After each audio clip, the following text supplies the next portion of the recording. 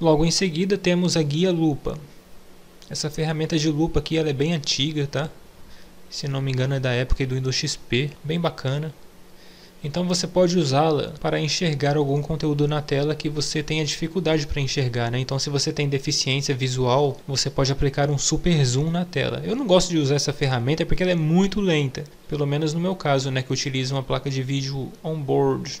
Entendeu? É assim que funciona. Você vai dando zoom, de 300%. Daí você vai arrastando o mouse na tela e a lupa vai acompanhando, né? Então isso aqui é muito útil para pessoas idosas, né? Ou pessoas que têm sérios problemas visuais. Então você pode usar essa ferramenta num caso de emergência. Por exemplo, quando você aplica aquele colírio, né, que deixa a gente com dificuldade para enxergar de longe, né, se eu não me engano, ou de perto, sei lá. Então você pode utilizar a lupa para te auxiliar nessas horas, tá bom? Daí aqui você tem um modo de exibição dela, que pode ser tela inteira, Pode ser o modo lente, que é assim, ó, tá vendo? Uma lente quadrada, né? Que é bem mais leve. É como se você estivesse passando uma lupa mesmo em cima da interface. Ou você pode escolher o modo ancorado. O modo ancorado, ele ancora uma pequena tela aqui em cima, onde você consegue visualizar em tempo real a parte onde você está passando o cursor do mouse aqui embaixo. Daqui você pode redimensioná-la. Embora não apareça o ícone de redimensionamento, se você clicar na borda e arrastar, a tela ancorada aumenta de tamanho, tá vendo? Então ela fica fixa aqui em cima, aí você consegue dar zoom na parte desejada. Eu vou encerrar a lupa. Então é assim que funciona a lupa. Daí aqui você tem informações sobre atalhos da lupa, né? Então se você pressionar a tecla Windows mais a tecla mais, né? Sinal de mais, você ativa a lupa. Para desativar a lupa, você aperta o comando Windows mais a tecla ESC. Eu vou ativar aqui com atalho e vou desativar com atalho. Aqui você escolhe o nível de zoom padrão. Por padrão é 300%, mas você pode aumentar, tá bom?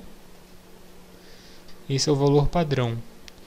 Aqui você escolhe o valor de incremento, quando você clicar no botãozinho do mais, né? Eu vou mostrar aqui de novo. Então o valor padrão é 300, que é o que eu configurei aqui embaixo. Então os incrementos são de 100. Se eu clicar no mais, vai aumentar para 400. Se eu clicar em menos, vai diminuir para 300 novamente. Então aqui você pode modificar esse incremento. Pode colocar em 150%, 200%. Daí, ao invés de saltar de 300 para 400, ele salta de 300 para 500.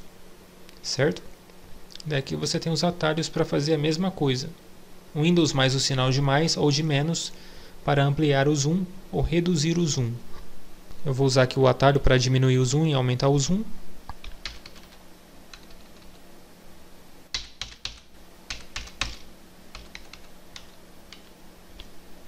Daí repare que ele vai aumentando e diminuindo o zoom aqui embaixo em tempo real.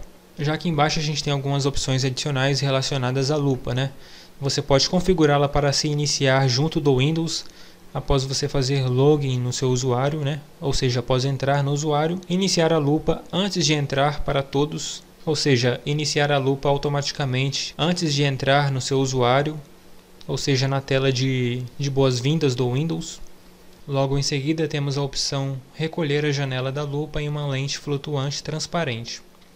Essa opção aqui serve para deixar a caixa de ferramenta da lupa no formato de lupa, né, aqui no cantinho. Então ativo a lupa marco essa caixa, daí a lupa fica nesse formato aqui, tá vendo? No formato de lupa mesmo. Daí clicando em cima dela, a sua caixa de ferramenta aparece novamente. Então é assim que funciona.